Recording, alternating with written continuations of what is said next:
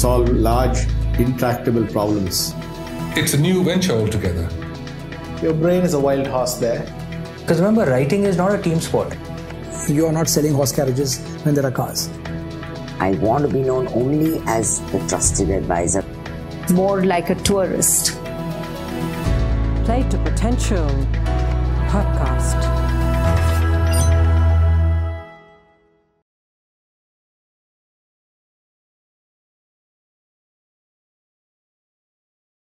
Sudhir, uh, congratulations on the book. Hey, thanks, DJ. The CEO Factory, and uh, thanks for making time for the Play to Potential podcast. Uh, my pleasure.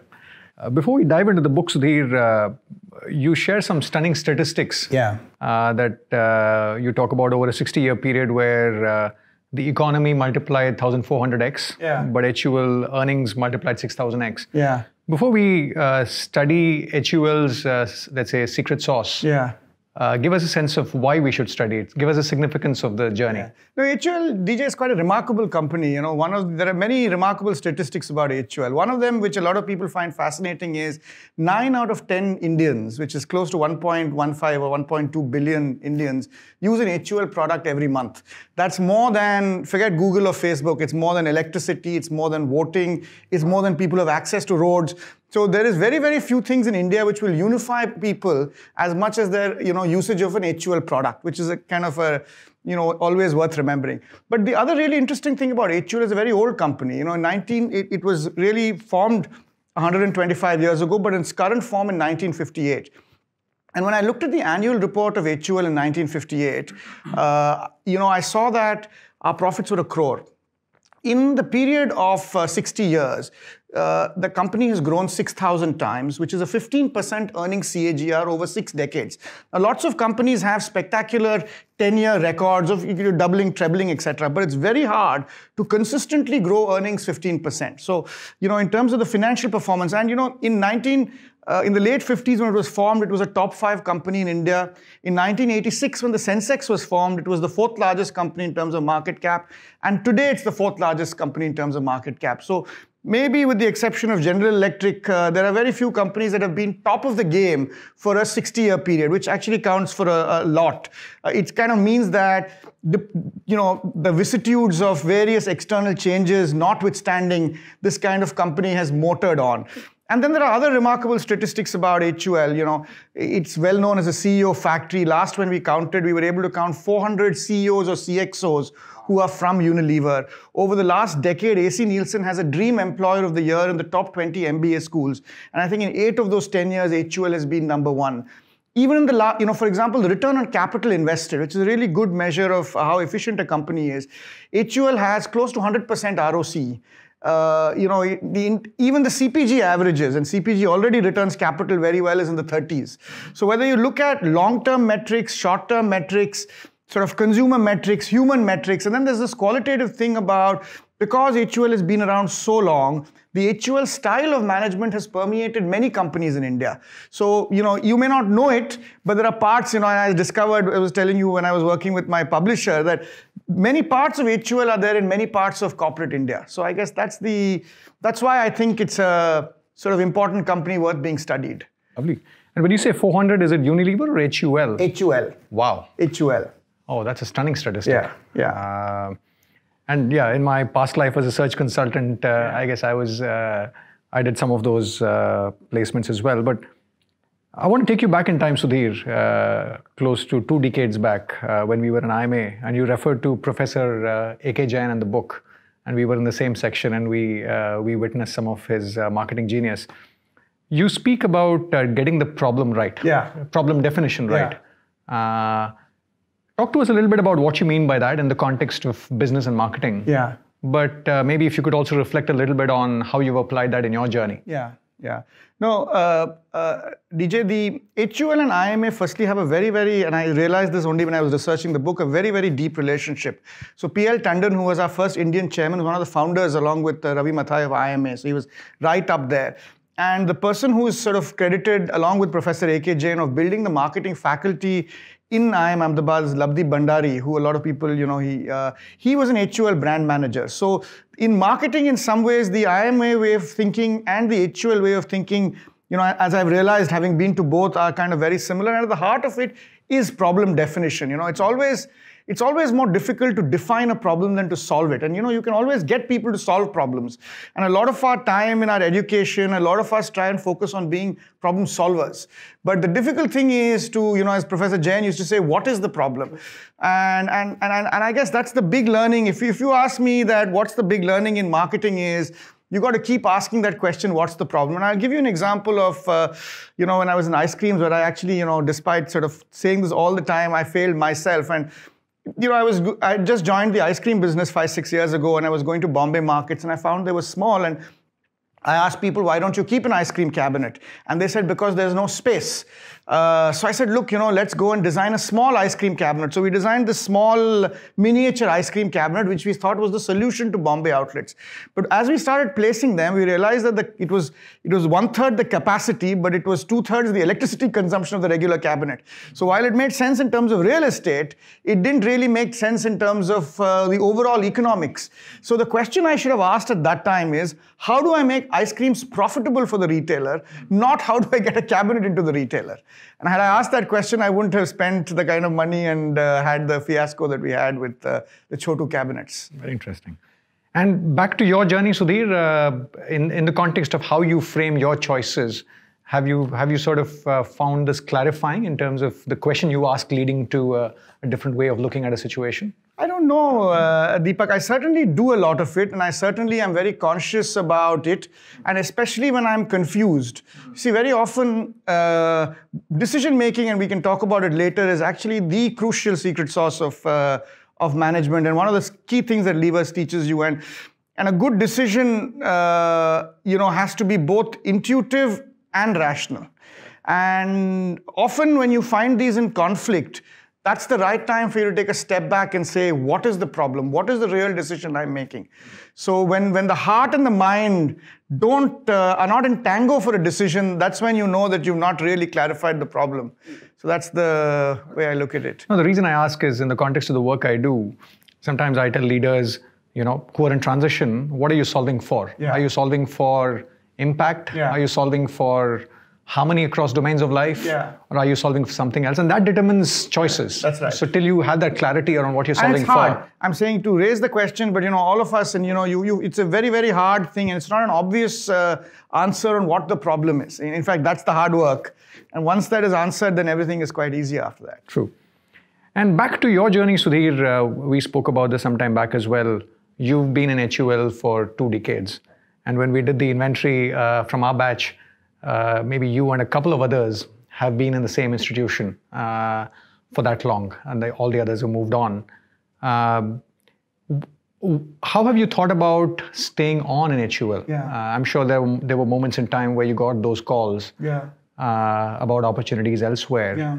Give us a sense of, uh, you know, what is it about institutions like HUL Yeah. which uh, give you an opportunity to pursue a 20-year career and beyond? Yeah. And also tell us a little bit about uh, how you've thought about some of those moments in time Yeah. where you could have possibly branched off. I think uh, HUL is among the few organizations that do tend to have a lot of people staying on for a lot of time. And if a lot of people stay on for a lot of time, notwithstanding some of the daily sort of irritations with every job, it means broadly you're happy. I mean, that's broad. I think HUL does a few things right. I think uh, it has excellent HR processes, I would say. It has excellent training processes early on in your career, and it has excellent career management uh, and ca- career development wherein you're learning throughout. So you're kind of constantly building on yourself, and I think that's one of the reasons that this uh, really strong. Uh, and, and there are some, you know, you, one can say that you know careers are structured, it's a bit slower, etc., etc. But broadly, I, I would say this HR system, when you take a step back, is outstanding. As a consequence of this HR system, I think there's a lot of camaraderie among the people. So you kind of work with friends, so you enjoy coming to work. Uh, there is also a lot of very bright people here, so you that is also something you like. And there are shared experiences, you know, early experiences in HUL. One of the differentiating factors in HUL versus any company in the world actually or there are very few which give such a tough early experience uh, when you're just a sort of greenhorn out of a business school and you know you think you know it all and those shared experiences also kind of form a bonding and and I suspect finally the values of the company are uh, are of very very high quality. So you go to sleep uh, feeling good about yourself. I guess these are the in, in, in general terms these are the reason why it's not just me. It's a lot of people uh, who last for uh, long periods of time. Uh, I mean, there haven't been that many moments where I've thought about leaving. Once or twice I have. And I guess the reason that I've never left is they were always rational reasons to leave, never emotional reasons to leave. So emotionally, I was always happy and fulfilled and so on and so forth. Somebody might have come with a salary which was higher or a job which seemed like a higher, uh, you know, status, etc., etc. So, so the rational mind works, but it's again going back to a decision. The, the heart and the mind have to sync, and for me anyway, they haven't sunk. They haven't been in sync yet. And and the other reason I ask is. Uh, in an organization as large as HUL, sometimes you could get opportunities where it's a smaller company, but it's a CEO role. Yeah. And leaders yeah. sometimes struggle to think about, you know, business head in a large company yeah. versus the company head of a smaller company. Yeah. So how do you think about that? You know, DJ, again, to be honest, this is a, it's a slightly rational question, right? Which is, I guess you just have to feel it at some point.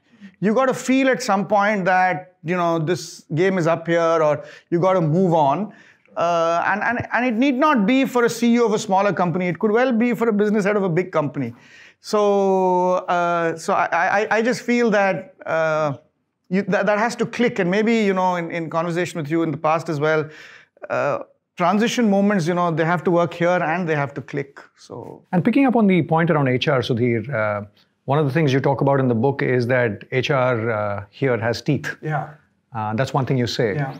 And the other thing that I found interesting was uh, back to the point around shared experiences. Yeah. You say that the first 10 to 12 years in HUL are uh, are uh, like an IAS or a government services yeah. kind of a tenure-based uh, yeah. career plan. After which high potentials take off, and you know there's an opportunity to differentiate yourself. Yeah. Talk to us a little bit about both these. One is about uh, what do you mean by HR has teeth, yeah. Um, and second is uh, why why is it that uh, you know, HUL has a sort of interesting approach of 10 to 12 years of predictable career path yeah. and then uh, variability. HR in HUL does indeed have teeth, and I think there are two or three reasons. Uh, it's an independent function in HUL. Uh, at the same time, uh, a lot of the HR managers have had the same shared experiences that business folks have had. They've gone through the same management training. Their first stint is also in a factory or in a sales branch. So they kind of have seen through the same uh, shared experiences while being an independent function. We've also historically and at a very early stage had HR as an independent function from business. Many companies in the past would have someone who was a technical person or a supply chain person kind of becoming the HR head. Uh, not so much anymore. But HUL very early on had uh, independent HR functions and independent HR professionals. So HR has also been one of the functions which HUL has really developed in a, in a sort of professional sense in India. So this, you know, high quality independent HR guys and then an HR system which is deeply embedded in the business so independent on one hand, but close to the business on one hand, has kind of meant that we've had a, a strong HR uh, system that shows the mirror to organizations. I think that's what HR has to do. It doesn't always happen, but most often or very often it does. And give us a sense of how it plays out when you say show the mirror, uh, make it real for us. I'm saying, for example, you know, I can't just recruit someone to be a subordinate in my team heading a large business. It doesn't work like that. You know, uh, ultimately, I'm the final decision maker on people who have to be recruited who report to me. But there is a there is a strong process. There will be a process where HR will bring out CVs of all the candidates. HR will have a strong view. They will insist I interview. You know, most often an HR person will sit in the interview and uh, they can disagree with me on paper.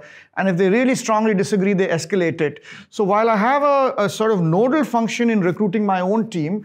I don't have unfettered freedom, and I think that's the right thing. I don't think uh, in professional organizations, uh, you know, people should have unfettered freedom. Hmm. And back to your point about, uh, you know, uh, sometimes the one line of thinking could be people with technical background who have a people orientation yeah. could do well in HR yeah. because it sort of gives them a sense of how business is done. Yeah.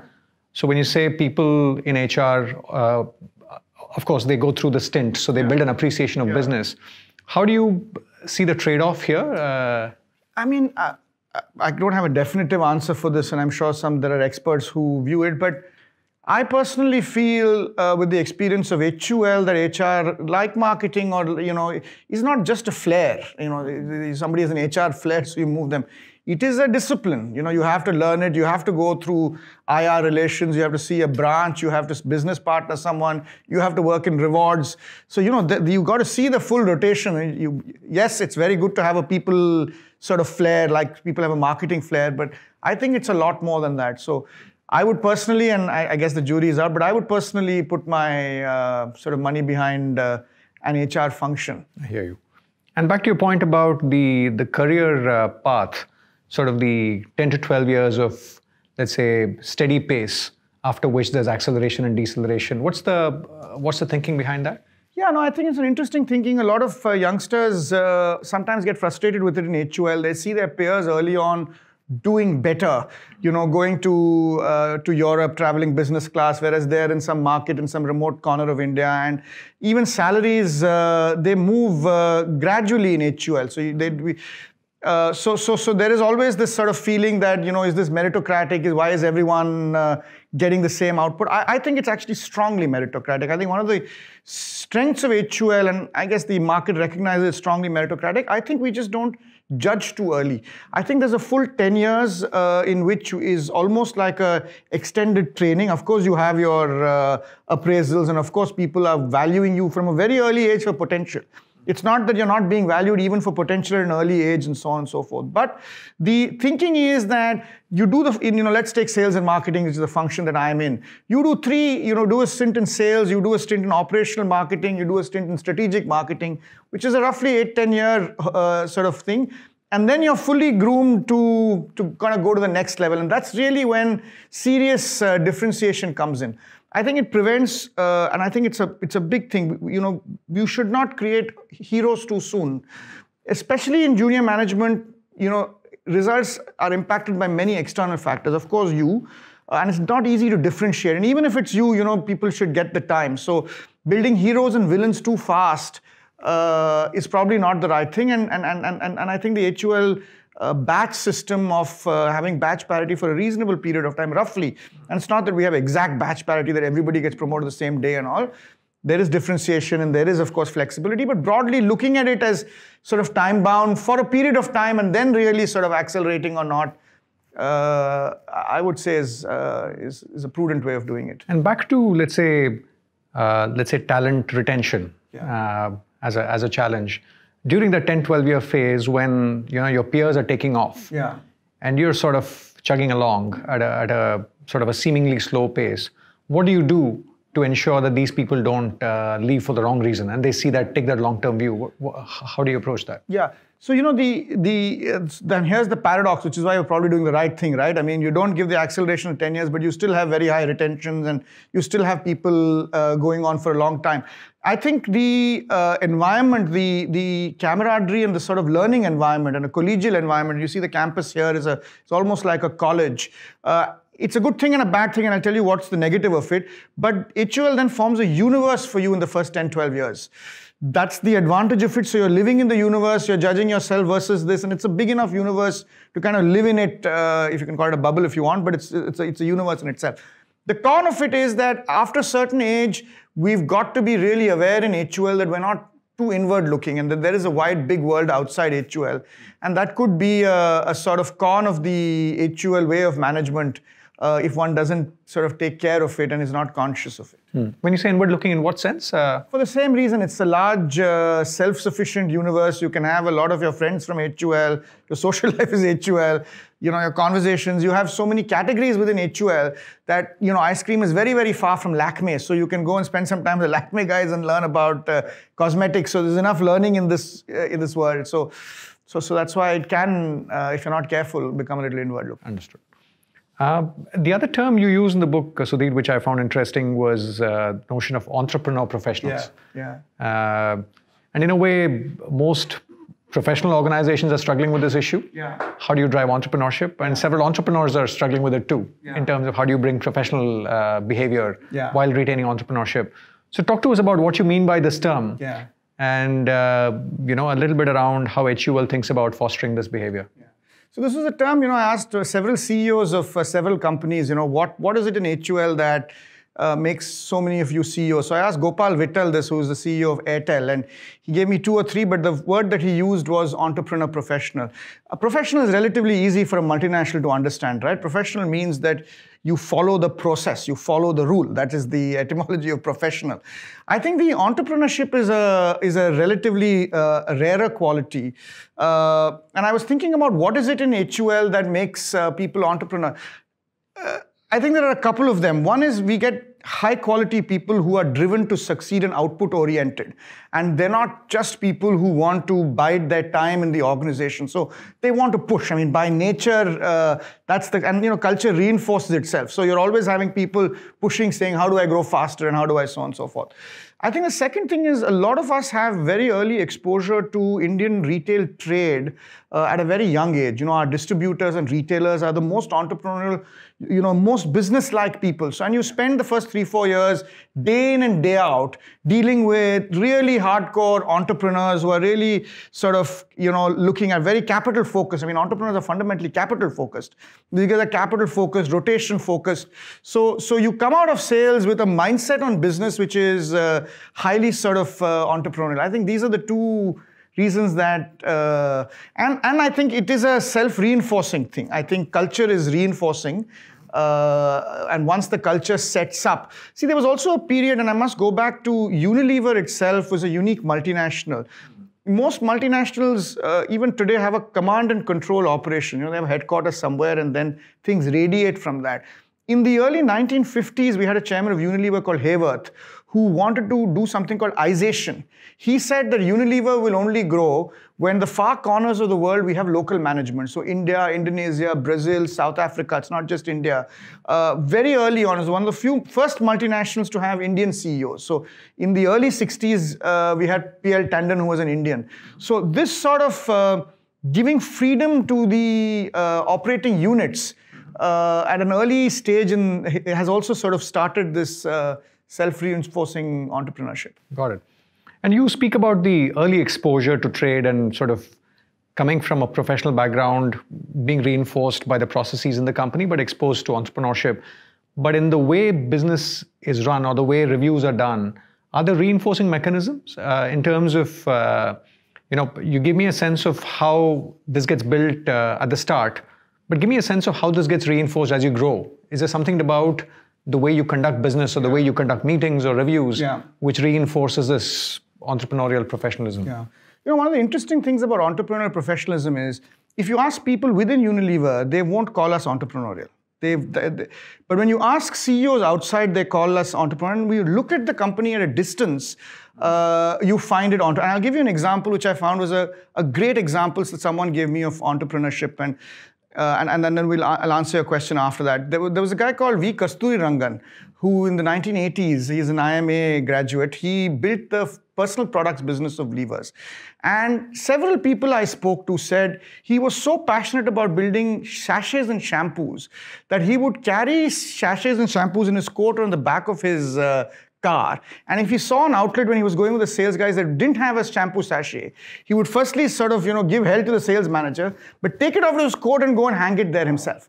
Now, you know, this is the kind of uh, reinforcement of, and, and, and, and what I've also realized in the company is that the stories that the company, and I, I guess that's the answer to your question, because I don't think there are any processes that encourage entrepreneurship. But, and I think there are processes that encourage professionalism, but there are stories that encourage entrepreneurship. That's a great insight. So, you know, all the conversations that you have when lever people sit together and drink will be about these mavericks uh, and how they entrepreneurially built this company at various points in time. And I, I think that's the combination of the stories and process, which, uh, and I, I, think that's what uh, builds it. Got it. Going back to one of the things you said, Sudhir, I wanted to pick up on it, uh, this notion of potential. Uh, you said something interesting. You said for the first 10, 12 years, it's not that people don't notice. You're still marked for potential, but you possibly aren't, uh, there isn't, uh, let's say, enough maybe celebration or uh, applauding going on. So I'm curious about that. But just uh, maybe a related question is uh, in the book, you talk about judgment, influence, and drive. Yeah.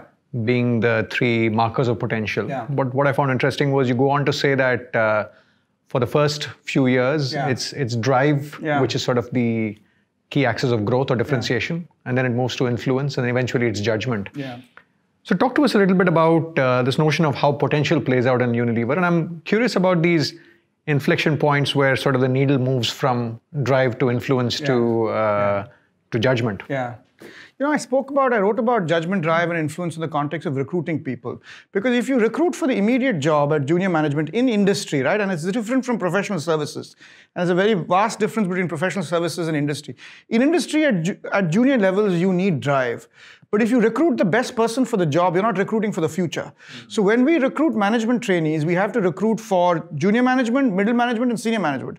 We expect every manager of ours. So at a very early age, we've got to see whether this guy's got the potential uh, to have judgment. Uh, does she have the potential to be uh, influential? Though in the first five years, all that's going to determine success, and one of the reasons also we don't judge too early is that all that the first uh, seven, eight years tells you it beyond a point is, or heavily over indexes in the fact of how driven you are. And it's you know only over a period of time that you start working as a team, and that's really where influence comes. And even after that, where you got to start making uh, decisions. It's one of the reasons why we don't promote too early because if you promote too early, you're promoting on drive, uh, and you're not promoting, and, and, and then you know you, a person will hit a barrier very fast and may not have either influencing or uh, judgment skills. So I think that's the important thing on, uh, on, on judgment, drive, and influence. I think there are natural inflection points for these uh, within HUL DJ. I think the first eight, nine years, uh, you know, we call it work level two, which is kind of where uh, people are really sort of. Uh, uh, you know, uh, kind of it's it's a, it's heavily you know driven, and as you go a little bit more and more senior, you get some influence and judgment. I guess you know in middle management, what we call work level three, which is gently 10 to 15, 17 years, is where you uh, sort of have to work together as an organization with various functions and other people and get work done. And I guess at senior management, really the success or failure depends on you know, do you get seven out of 10 decisions? I used to have a boss who said that anybody who gets nine or 10 out of 10 decision makers is a bad decision maker. Not taking enough risk. A a good decision maker has to get seven. He has to get the right seven, uh, but you know, that, that's the right ratio. Five is too low, nine is too high. So Nine too high being too too safe. Is that the point? I think it's too safe. Uh, you you are then you're analyzing too much. Uh, you're sort of you're not you're not quick enough in the decision. There is a speed factor to it. Interesting. You got to make those seven have to be the important decisions. You got to let go three relatively uh, low important decisions. So there's a decision making in taking decisions itself. You know in that sense. meta. Yeah. But a uh, couple of questions. One is, uh, how do you? What are the markers you look for, uh, given that you're uh, recruiting for judgment, influence, and drive? Yeah. Give us a sense of uh, how do you pick them up? How do Yeah, you suss them out yeah. early on? Number one, even before, even at a recruiting stage, for example. Number one, and number two, how do you think about the leadership development mix? Yeah. When you're solving for each of these three variables, not that it's sort of one at a time, but I'm curious how how that shifts as the axis of growth shifts. Yeah. See, one of the big determinants of drive actually is uh, excellence in your educational or co-curricular activity. It doesn't actually determine judgment in Indian circumstances, but it certainly determines uh, uh, drive that you know. And academic is an important part of it, but exceptional performance anywhere is a tick mark on drive for us. I think when we do the lever way of uh, recruitment, uh, we still are one of the old-fashioned companies that do group discussions, and uh, people think that group discussions are a problem-solving forum. They're not a problem-solving forum; they're a teamwork forum. So what we judge in uh, in group discussions is not whether you're the guy who cracked the case, but are you the guy who facilitated someone else to crack the case? You know how how is the team dynamic, and that's what we're looking for.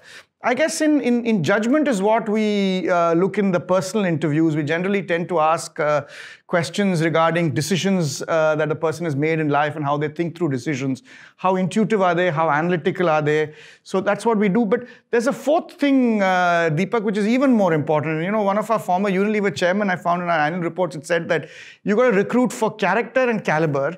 Uh, and between the two, character is far more important than caliber. So judgment, drive, and influence are determinants of caliber. But there is a more important uh, variable, which is character, which we actually have a fourth interview where senior people interview. So ours is a four-step recruitment process where CV, uh, group discussion, interview one and interview two, which people say, why do you have such a long process? It's to judge. And the final one, we have senior people to see whether the person's got a character and high integrity, which for us is actually the most important. Uh, uh, And how do you, uh, maybe just persisting with the theme, and for somebody, let's say, who's a student? Um, how do you suss that out? I think, you know, authenticity and willing to share vulnerability in an interview, willing to sort of look deep inside. See, what do we mean by integrity? We're not judging whether a person is going to cheat the expense statement, right? The question that we're judging is is a person true to themselves?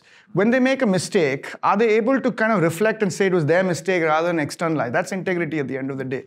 So, what we look for is people who are a little bit uh, thoughtful about themselves, who who have a good you know idea of what's what their strengths and weaknesses are, and so you know so that, that's really how at least I suss out. Uh, sort of the integrity of a person. And that's what I mean by integrity. No, this reminds me uh, reminds me of uh, my previous firm, Egon Zehnder.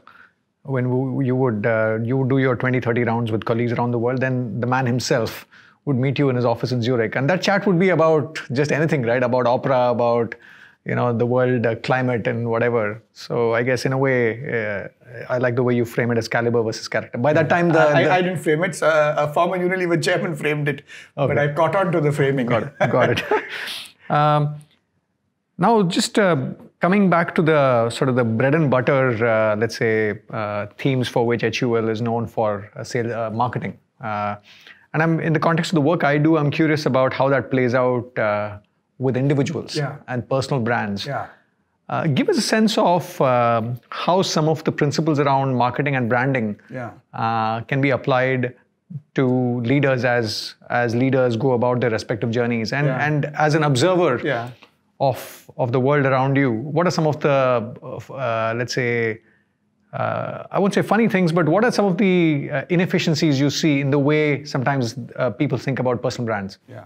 So, uh, DJ, I haven't actually, to be honest, thought deeply about personal brands, right? It's not an area that I have. Uh, but let me tell you about brands and let, let, let's see if there are some parallels between brands and personal brands. One of the things that great brands have uh, is that people who love the brand and people who hate the brand must say the same thing about it. That is the mark of a true uh, outstanding brand. So you may not like the things that people who like it, people who hate it may not like the same things, but they say the same thing. So a brand, as I've written in the book, is give me an example here. Sorry, just just for me to get a sense of what you're saying. So you know, let's say uh, uh, let's take a strong brand that I worked on. Let's say Lifebuoy.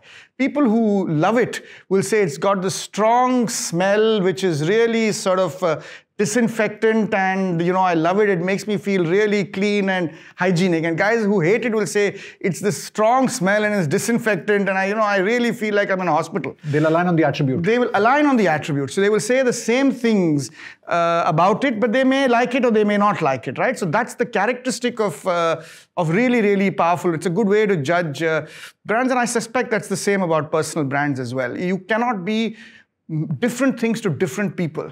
That's the principle of branding. You have to be the same thing to everybody, whether they like you or not.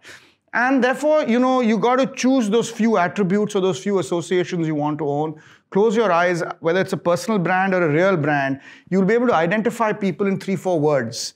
Uh, then they're strong brands they have to be authentic. Uh, they have to be true also to their, you know, one of the things I do a lot when I do brand work, uh, DJ, is we do something called brand archaeology which is go into the deep history, and many of our brands are very old, the deep history of the brand, the founder, and what was the vision with which it was founded, and what was that sort of birthing qualities of the brand. Because they tend to be the true qualities of a brand that, you know, 70, 80, 100 years later, and you've got to kind of uh, rediscover it. Uh, and I think that's the truth about personal brands. I'm not an expert, as I tell you, but as I'm talking about it, I guess you've just got to go within. Uh, you can't game it and say, what will that person like and what will this person like and how can I be? You got to understand what it is that you are. And whatever it is that you are, if you are true to it, people ends up liking you. I mean, so, you know, uh, the, you know that, that, I think that, and that's true about brands. You know, the sharper they are, uh, you'll always have people respecting you. They may not choose you or you know, they may choose something else. But uh, I, I, guess those are the uh, parallels. But I love the but I love the point around archaeology. Yeah. It's a cumulative and not an incremental. That's right. It's uh, you can't sort of ignore the past. That's right. And sort of uh, That's right. create a de novo.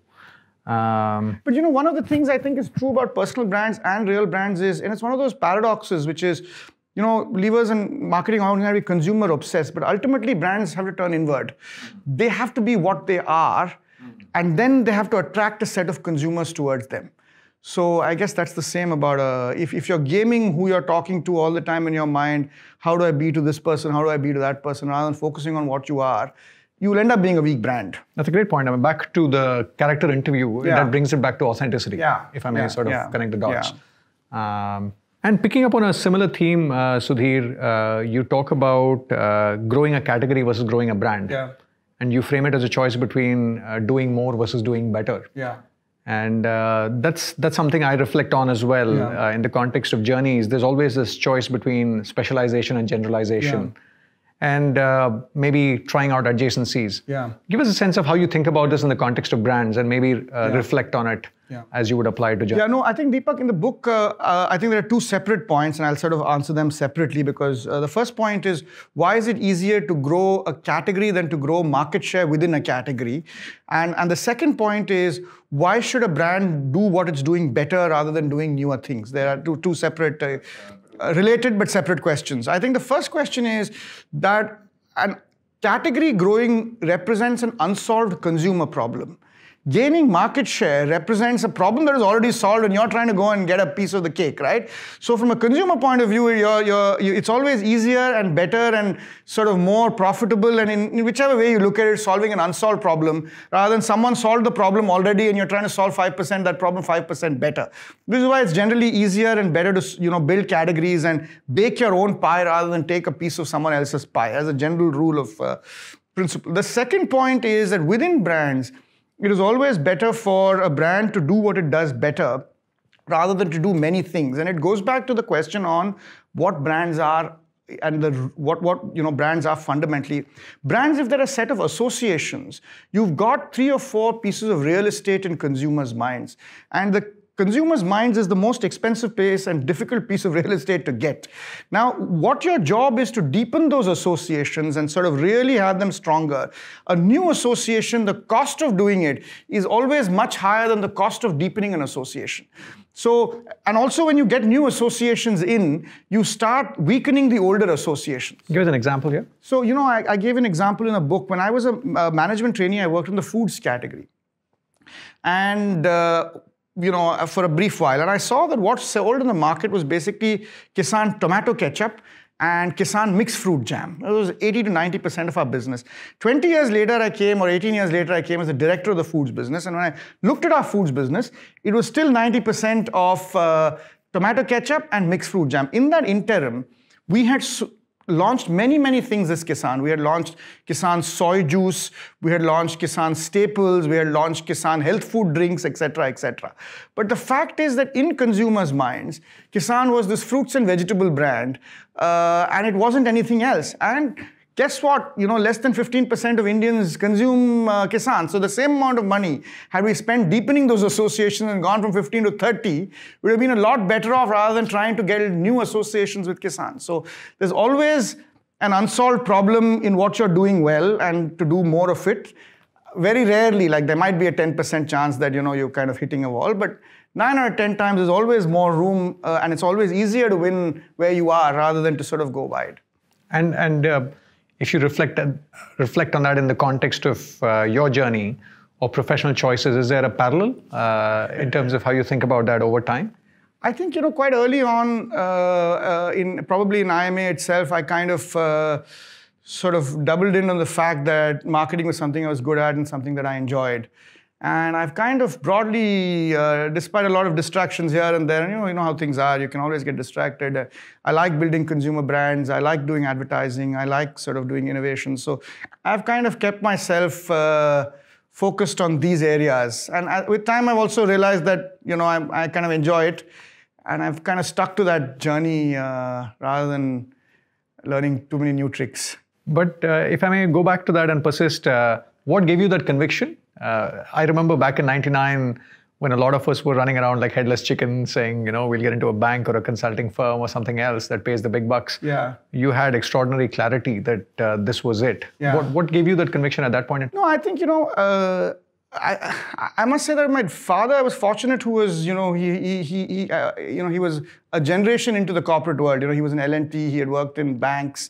So he had a good sense of uh, the world after you join after 10 years, 20 years. So I think he was, one of the few things he was very clear about was that I joined Levers. Uh, he also felt that I should do marketing. He knew me well. So he was actually one of those guys who never really, you know, I was never a good student throughout because he never, he didn't allow me to do tuitions. He never really wanted me to do one thing. But the, one of the few things he wanted me to do in life uh, was to join Levers. I think he, he had a high regard for the institution, but I think he also saw it. And I, I, I must say that uh, when I as, at IIMA, so I actually got into levers before I joined IIMA, and I didn't take it though my dad wanted me to join. Oh, levers. is that so? yeah. So when I was in Xavier's, you know, they recruited management trainees. Oh, I didn't know that. Okay. And uh, he wanted me to take it, but I said no. I am, but he was still keen, you know. So he made. I did my summers in levers, and I also once I kind of, uh, I guess, so on the one axis there was a push there, and then I guess Professor A.K. Jain's marketing one did create a pull. So I, I did get fascinated by him and the clarity of thought and sort of the deep rigor because a lot of people you know come in thinking you know marketing is fluff but you know AK Jain was anything but that. It was just just because it's not numbers all the time it doesn't mean you can't have depth of thinking. So I guess those were the two influences that really have kept me going in. And uh, if I may persist further what gave your father uh, that conviction that HUL was the right thing for you? What about HUL appealed to him See, he had a belief that uh, he was an old fashioned guy. So he had a belief that the first job a person does, he was an engineer, he was an IT engineer, should either be in the shop floor or in the market. So it was an old fashioned view. And it's a 100% right view. These things don't go out of fashion.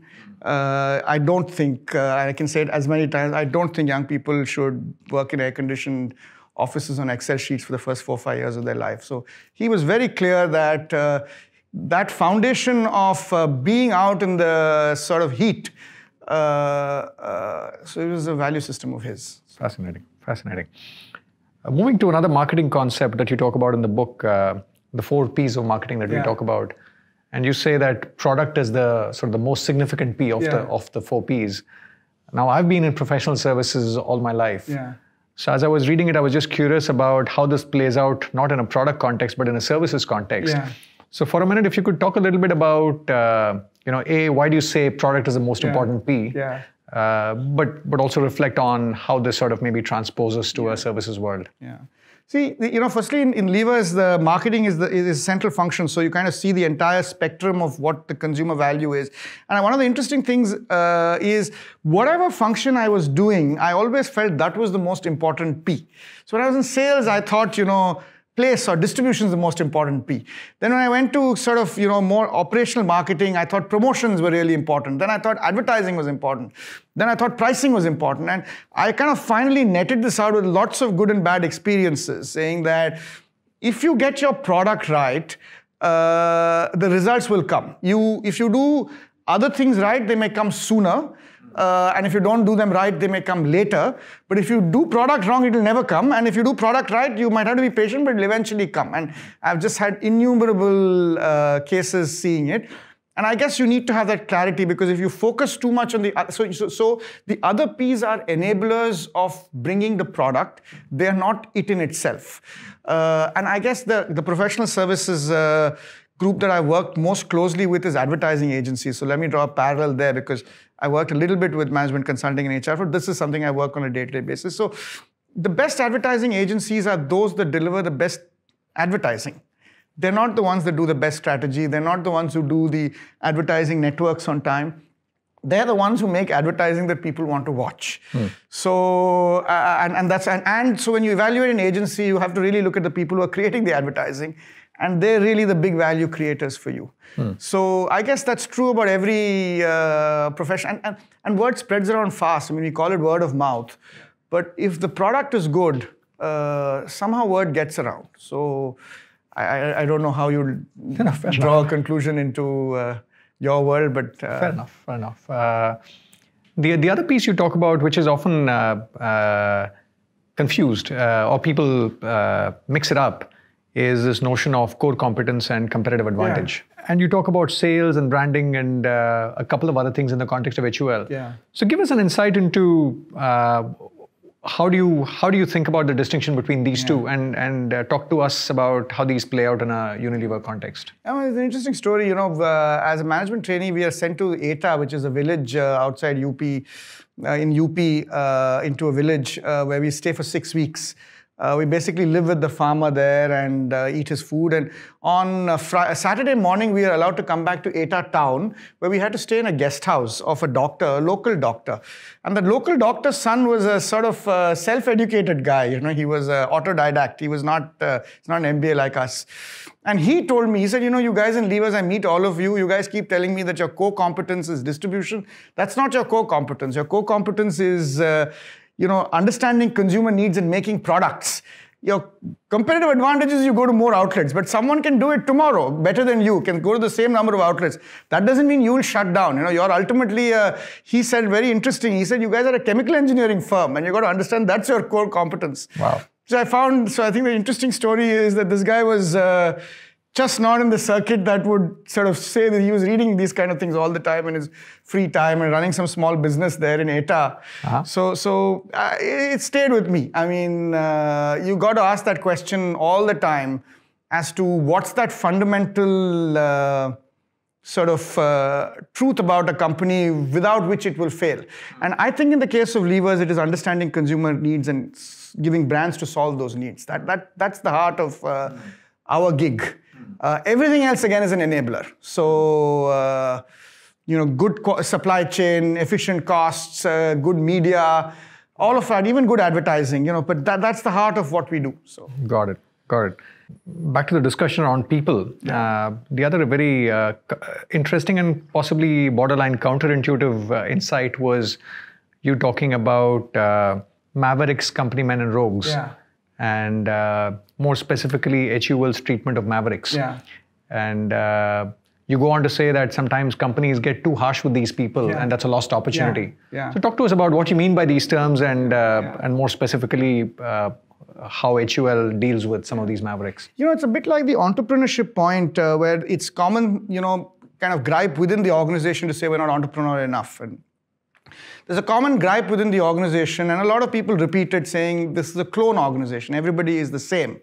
Uh, and that's how we kind of, that's the starting point, right? But when I actually started speaking to people uh, about HUL and people who've been, you know, joined in the 50s to now, uh, a lot of the conversation actually came up, and people who were idealized were people who were mavericks. I mean, I gave you the example of V. Kasturirangan, but there were several others like this. So, and, and they were able to associate those mavericks with uh, distinct uh, periods of great success of the company, and they were able to attribute it to uh, to those people. So I think the interesting thing about HUL is that a lot of people look the same and speak the same language, but there is this. Uh, a group of people who aren't the same and uh, you know who are still allowed to flourish in the company and it's not that easy in a lot of multinationals uh, for that to happen. And, and I was speaking to a consultant friend of mine, and I was telling him, look, this is what I found. I found uh, a lot of the successes I'm able to attribute to people and people who have and did very well. They didn't go to the very top of HUL, I must tell you, uh, but they, they did pretty much near the top. Uh, and he said a lot of companies, it's fashionable to over-index on teamwork, and you know, ultimately what's important is output. Teamwork's an input, right? So you can't. It's not an end in itself.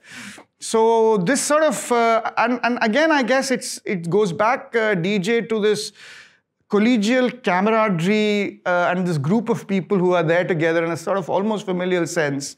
So unless someone is uh, lacks integrity and rogues, which the company has again traditionally had very strong value systems on, and they kind of get ejected, uh, there's a reasonable amount of tolerance for these. May not be great team players, but value creators, and a lot of respect for them as well. So, uh, and I, I, I think that's a. I I mean, as I spoke to people, I think that's a. It's a relatively unique secret sauce of HUL. It doesn't. It's not obvious because people look the same, the same educational background and so on, but you think about it, it's uh, it sort of ties in with the entrepreneur professional uh, argument. In fact, I think it is the secret sauce. If I were to kind of Very uh, interesting. And maybe to make it real, Sudhir, what are the moments of truth? And what are the kind of situations where you need to be patient or tolerant with Mavericks? What's the friction that you need to live with for Mavericks to flourish? the reason that HUL is able to tolerate and live with Mavericks for a long time again goes back to some of the HR processes. I think uh, there are strong uh, meritocratic uh, evaluation processes and a lot of the KPIs are quite output driven. Now some some organizations find it hard to have output driven KPIs by the very nature of what they do. I think one of the advantages in the business that we are in is at, at senior management again. One is so, you know, a, a, we're able to, since again it goes back to some of the earlier points, which is since you give a lot of latitude for the first 10 years and you're really evaluating people in the first 10 years. Sort of mavericks you know coast along. And that's really where mavericks really have the most friction early on right? Once they come to senior management where, where judgment starts to play a role mavericks tend to be good decision makers. So it allows the mavericks to come to middle management or senior management and then flourish. I think it's got good output related KPIs where if you're bringing in the bacon, uh, there's a reasonable amount of uh, tolerance. So I would say it's a combination of these two, but probably the first one. Hmm. Probably what, you know, one of my former uh, bosses, you know, he calls it, a, I think he calls it a empathetic meritocracy, hmm. which is not a hard meritocracy. You know, if you have a hard meritocracy in like, you know, investment banks or whatever, as you are two years and then you're out, uh, you know, it won't have tolerance for mavericks. Because early on, when uh, things can't get attributed, people who conform get more attribution than those who don't conform. That's what happens early on, right? So the fact that you don't evaluate for 10 years or you don't hard evaluate and you're kind of supportive throughout, I, I think that's probably what uh, more, uh, uh, when I think about it, more than the sort of KPI thing, I think this is probably why. Uh, it, it's like a family which allows the sort of black sheep of the family to still be in the till suddenly you know like you know you discover a talent of that person and suddenly somewhere it flourishes you know? So that that's uh, that's probably why. Got it. And just moving to culture you spoke about culture in the context of uh, entrepreneurial uh, professionals. But uh, in the book you also talk about the four pillars of culture action yeah. values courage and yeah. truth. yeah. Um, Talk to us a little bit about uh, how these get uh, yeah. uh, reinforced uh, on a daily basis. Yeah. No, I, you know, in the early 2000s, we were having a really bad time as a business, and our CEO, chairman at that time, Vindi Banga, came to one of our annual conferences and said, "Guys, it's time to go back to our values. You know, they're action, caring, courage, and truth. Those were the four values." He said. And all of us had a rollicking time with that. So every time in the canteen, you know, we would keep making fun, and it just sounded like jargon and you know, that's how it sounded. Uh, and maybe we could have phrased it better, and sometimes there's something. But, you know, now when I was sort of one of the, th- I interviewed many, many people, and I kind of, one of the techniques I do in market research is not ask people about the values, but ask them what their favorite memories about HUL, right? What are your stories that you remember? You know, and, and when I grouped those stories, I found quite uh, perplexingly, and I told Vindi this, and I also sort of admitted to him that I laughed, but a lot of those stories were uh, coming in the buckets of uh, action, which is the same entrepreneur professional thing, uh, caring, which kind of demonstrated itself mainly in terms of employees who are either ill or who pass away in the course of service. Courage, which is standing up, uh, and again goes back to mavericks of standing up to power and speaking truth to power, and truth, which is basic honesty. So these were the four uh, stories that came. So they, they, people didn't express them as values I kind of synthesized back to something that I had, I had heard as a young manager.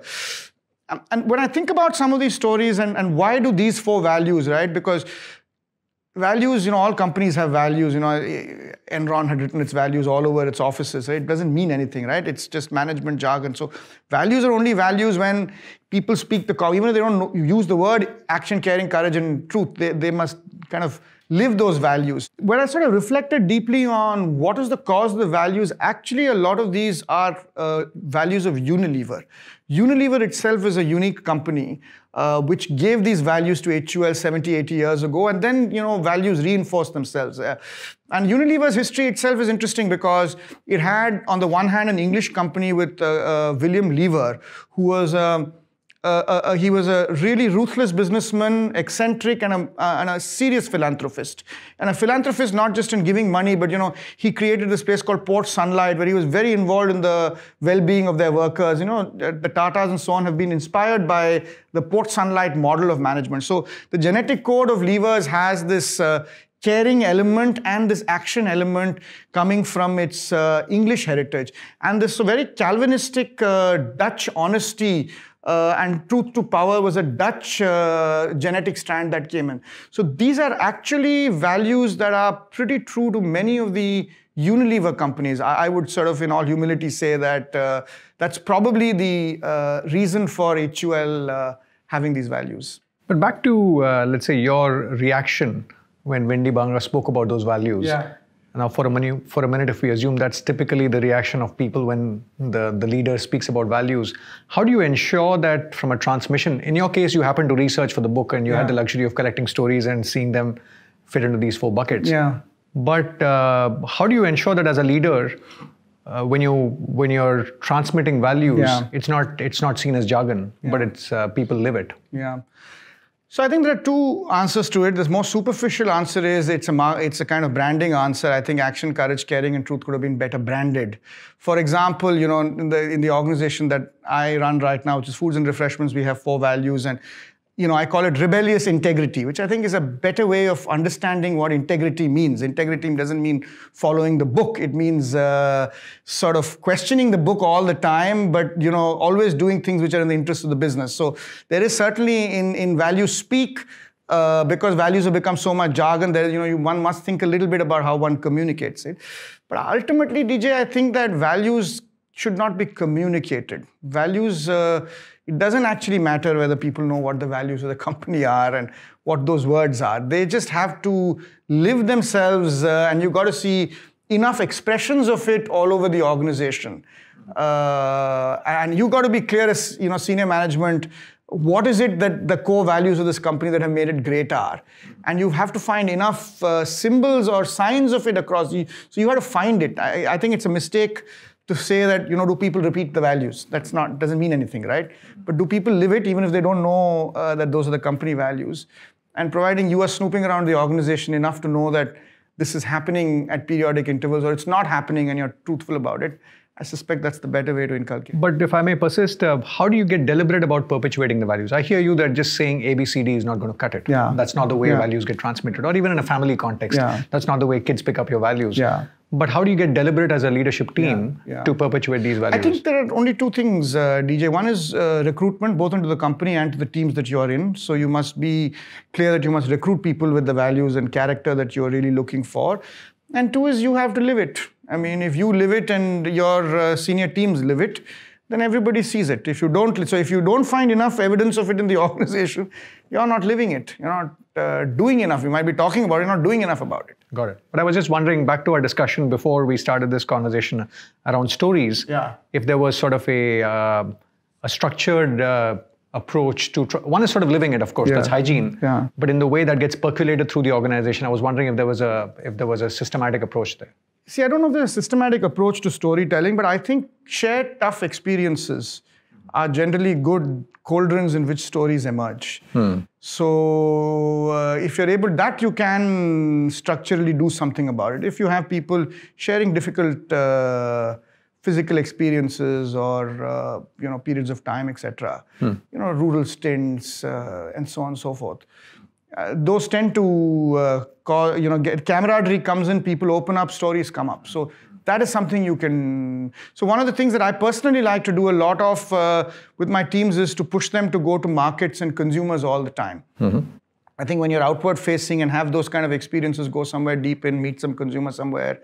Uh, those are the kind of you know go, go with two brand managers go and they sit and they talk or you go to the sales guy there's a really nice story that uh, M.K. Sharma who was our former vice chairman and chairman of ICICI gave me in the book which is in those days we don't have it now you know he, he wrote a, a long story about how an excellent piece of legal work he had done and he had cracked some case in Jabalpur, and when he came, uh, he found a letter which was a reprimand letter, which is, he said, the only reprimand letter I got in my life.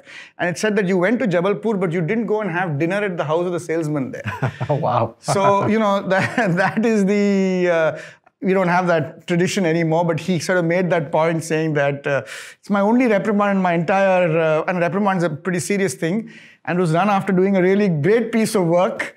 Uh, so, Uh, lovely, Sudhir. Uh, uh, just as somebody who researched HUL extensively as a, as a part of writing the book, if I may ask, uh, what are the two, three things that came as a surprise to you? If Yeah. you, if, I mean, of course, there's the HUL that you've sort of Yeah. lived, lived over the last two decades. Yeah. And then there's the HUL that you've discovered through the research. Yeah. What uh, What would you say are the two, three things you didn't appreciate enough when you started out writing this book? I think the uh, thing which at depth that I understood was this entrepreneurship and maverickness about the genetic uh, makeup of this company, which is not obvious uh, when you're in the coalface. uh, because you think you only see the process but you don't see the entrepreneurship uh, that a large company like this allows at various points in time. It doesn't allow wanton entrepreneurship, that's also true. That has certainly been uh, uh, uh, uh some, something which is new to me. So if you tell people, what's the first thing that you think about levers? They're not going to say entrepreneurship, right? But the fact is, you don't survive uh, doing extremely well for 60 years if you don't have entrepreneurship. So, so that, that's the other thing that sort of surprised me was the passion for the companies uh, uh, that people who have long retired or have left the company and are CEOs, they still call it our company. Uh, and the remarkable similarity in the stories that they would narrate with respect to the values of the company. So the other thing which is almost nobody in HUL will know what the official values of the company are, but I have a suspicion that a lot of people live it and, and you see it when you kind of go outside. These are the two things that surprise me. So the pleasure talking to you. Thanks, DJ. Thanks so much for making the time, and Thanks, uh, good luck with the success of the book. Thank you. Thanks.